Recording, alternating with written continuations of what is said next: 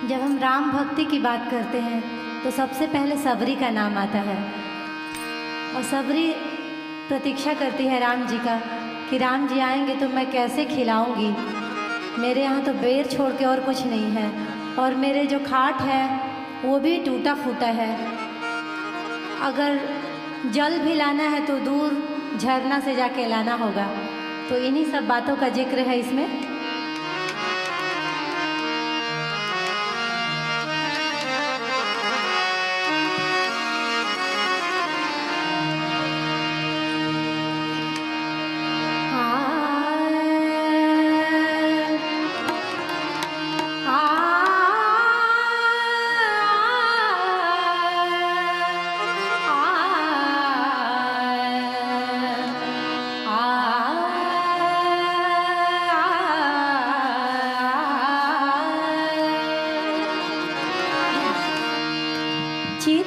चित्रकूट के घाट घाट पर सबरी देखे